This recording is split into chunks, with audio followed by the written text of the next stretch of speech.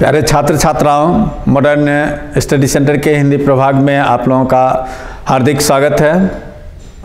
और, आज हम पाठ विषय पर बात करेंगे। साइंस से 2020 में जो प्रश्न पूछे गए, उन्हीं प्रश्नों पर चर्चा होगी। तो मोटे तौर पर एक अच्छी तैयारी के संकल्प के साथ हम पाठ शुरू करते हैं। आपको अभी तुरंत बताया गया है कि जो संकल्पवान व्यक्ति होता है, जीवन में वही आगे बढ़ पाता है। संकल्प के आधार पर बढ़ना एक बड़ी बात है। हम आज इसी संकल्प के साथ पाठ शुरू करते हैं। तो आज का हमारा पाठ विषय है, साइंस 2020 विज्ञान 2020 में जो हिंदी में प्रश्न पूछे गए, उसी प्रश्नों पर हम चर्चा करेंगे, खासकर वस्तुनिष्ठ प्रश्न पर बात करेंगे। मुख्य रूप से ऑब्जेक्टिव प्रश्न पर बात होगी। तो हम पाठ शुरू कर रहे हैं। देख लीजिए, इस साल आपको 60 प्रश्न पूछे गए थे, लेकिन जवाब देना था 50 को ही। उससे पहले तो 50 ही पूछे जाते 50 का जवाब देना है, लेकिन अब 60 पूछे गए, जिस 60 में जवाब देना था 50 को। जिसका इंस्ट्रक्शन यहाँ पर आपको दे दिया गया है। तो पहला इसका प्रश्न है, जयप्रकाश नारायण ने छात्र आंदोलन का नेतृत्व कब किया? जयप्रकाश बाबू ने छात्र आंदोलन का नेतृत्व 1974 में किया था। आपने पढ़ा है 1974 में उनका पहला भाषण हुआ था पटना के गांधी मैदान में। तो इसका उत्तर होगा 1974 ए हो जाएगा। दिनकर जी को निम्न में से कौन सा पुरस्कार दिया गया? दिनकर जी को यहाँ पर ध्यान रहे कि पद्म होना चाहिए, धोखे से पद्य लिखा गया है। पद्म भूषण दिनकर जी को मिला था तो इसका उत्तर बी हो जाएगा। रिकंस्ट्रक्शन ऑफ़ इंडियन पॉलिटी नामक पुस्तक किसने लिखी? रिकंस्ट्रक्शन ऑफ़ इंडियन पॉलिटी नामक पुस्तक जयप्रकाश बाबू ने लिखी। आप यहाँ पर देख लीजिए, जयप्रकाश नारायण उत्तर सी हो जाएगा। अर्ध नारीश्वर कल्पित रूप है। अर्ध नारीश्वर में एक परिकल्पना की गई है। दो भगवान, भगवती के मेल की बात की गई है। आप विकल्प में देख रहे हैं राधा कृष्ण का, शंकर पार्वती का, राम सीता, गणेश लक्ष्मी। तो इसका सही उत्तर होगा शंकर और पार्वती का। शंकर और पार्वती के मिश्रित रूप का नाम है अर्धनारीश्वर। अज्ञे के पिता का नाम था अज्ञे के पिता का नाम था अज्ञे का ही नाम आप याद रखेंगे तो उनके पिता का भी नाम आपको याद रह जाएगा। देख लीजिए अज्ञे का पूरा नाम, सच्चिदानंद हीरानंद बादशाइन अज्ञे सच्चिदानंद हीरानंद बादशाइन अज्ञे तो हीरानंद शास्त्री यहाँ पर नाम है तो इसका उत्तर सी हो जाएगा। हीरानंद शास्त्री उनके पिता का नाम था, सच्चिदानंद उनका अपना नाम था, और हीरानंद उनके पिता का नाम था। तो इस तरह उनके नाम से उनके पिता का भी नाम आपको याद रह सकता है। डॉक्टर हीरानंद शास्त्री, सी, इसका उत्तर होगा। शब्द का प्रायवाची है।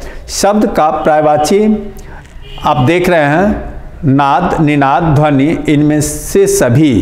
तो शब्द का प्रायवाची नाद भी होता है, निनाद भी होता है, ध्वनि भी होता है।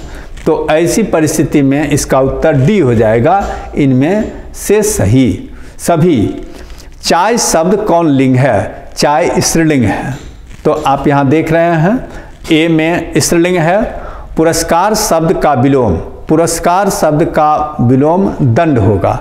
ए हो जाएगा इसका उत्तर, वर्ण के आधार पर संधि के कितने भेद होते हैं? आप ध्यान रहे, पूछने के लिए आपको पूछ दिया गया वर्ण के आधार पर संधि के कितने भेद होते हैं। लेकिन आपको मुख्य रूप से याद रखना है संधि के भेद। संधि चैप्टर है और उसमें वर्ण के आधार पर पूछे या जैसे भी पूछे आपको तीन ही याद रखना है। तो इसका उत्तर हो जाएगा तीन। वर्ण के आधार पर संधि के कितने भेद हैं? तीन। बी हो जाएगा इसका उत्तर, दक्षिण शब्द कौन संज्ञा है? दक्षिण दिशावाचक है, एक दिशा का नाम है तो वह व्यक्तिवाचक संज्ञा होगा। बी हो जाएगा, अशोक वाजपेयी का जन्म कब हुआ था? अशोक वाजपेयी का जन्म 1941 में हुआ था। अशोक वाजपेयी का जन्म। तो सी हो जाएगा, कवि ने कहा, क्या है? आपको यहाँ पर ऑप्शन दिया हुआ है, कहानी है, कि नाटक है, कि निबंध है, कि कविता है तो इसका उत्तर हो जाएगा कविता संग्रह। है सी, इसका उत्तर हो जाएगा, विनोद कुमार शुक्ल का निवास स्थान कहाँ है? विनोद कुमार शुक्ल का निवास स्थान रायपुर, छत्तीसगढ़।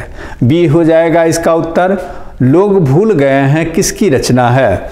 लोग भूल गए हैं यह रचना रघुवीर सहाय की है। रघुवीर सहाय की। तो इसका उत्तर डी हो जाएगा, अधिनायक शीर्षक कविता किस पुस्तक से ली गई है? अधिनायक शीर्षक कविता आत्महत्या के विरुद्ध कविता से ली गई है, अर्थात इसका उत्तर बी हो जाएगा।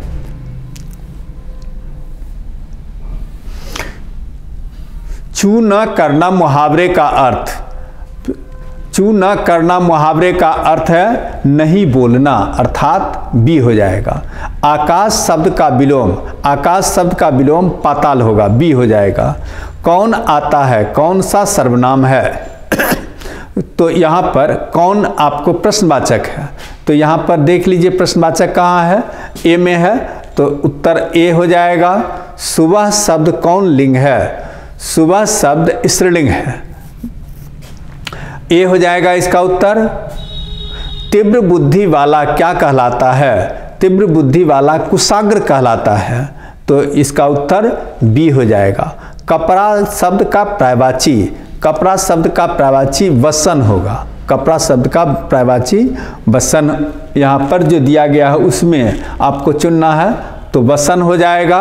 ए इसका उत्तर। समाज शब्द का लिंग निर्णय करें। समाज शब्द पुलिंग है। उत्तर बी हो जाएगा।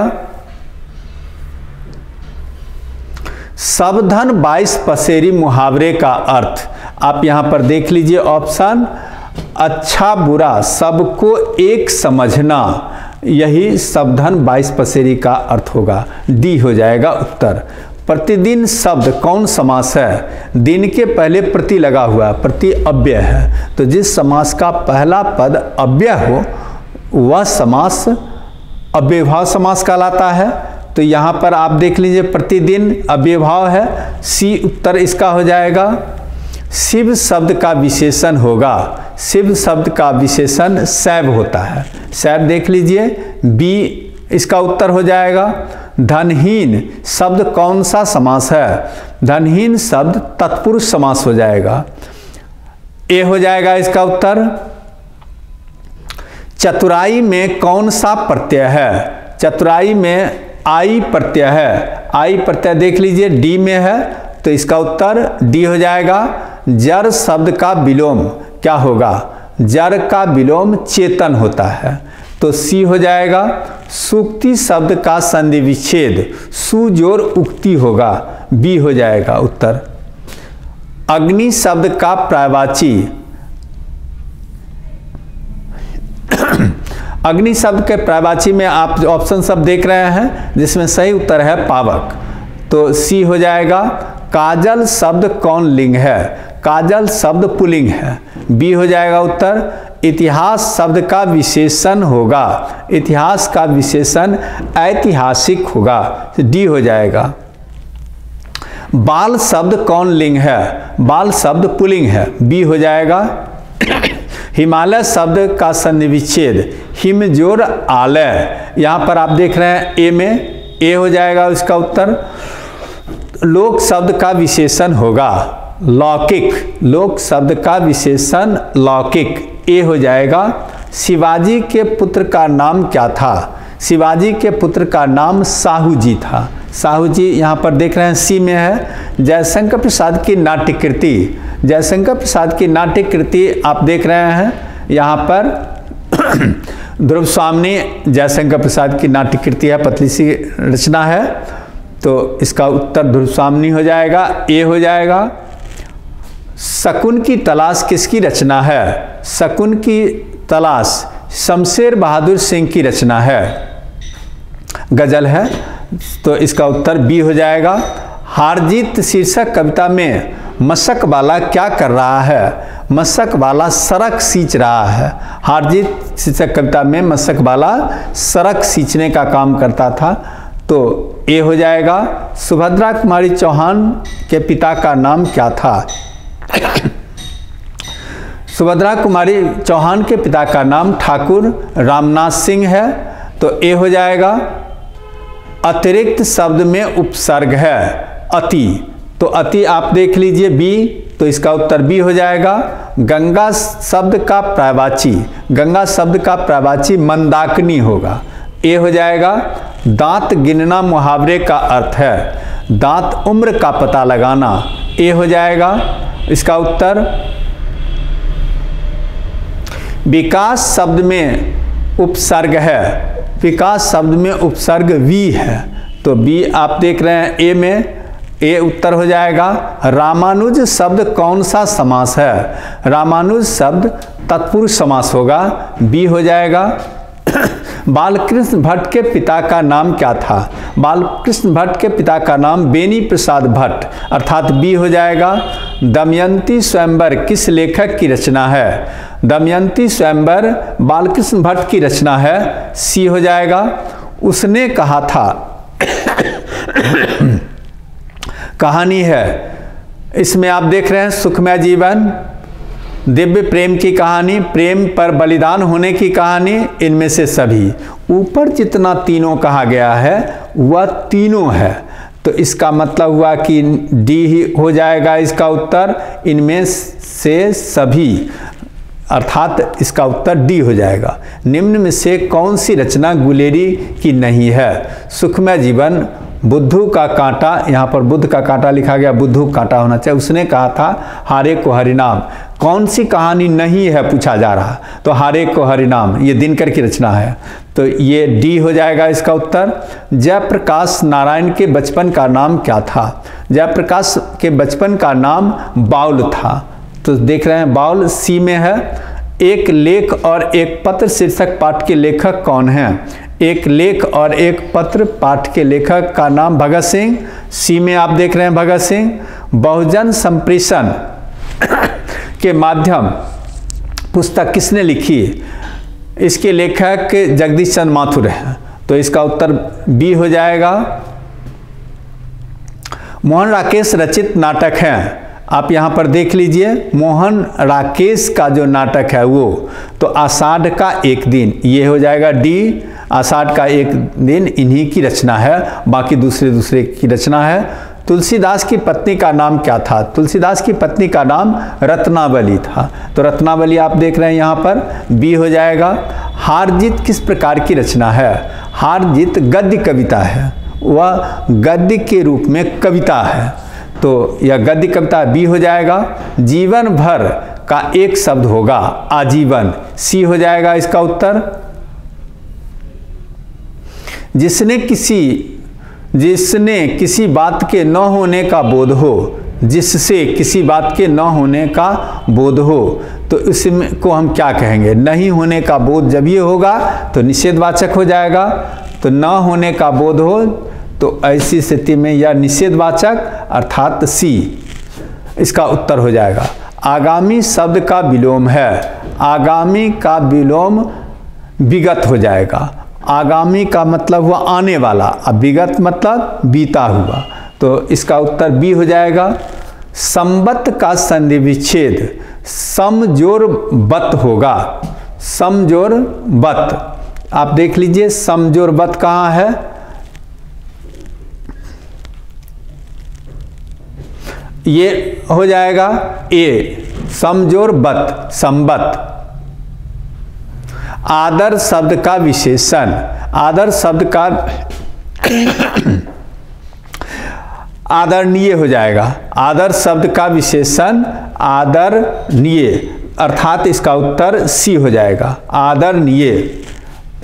तो इस तरह आपने साठों प्रश्न का उत्तर देख लिया और फिर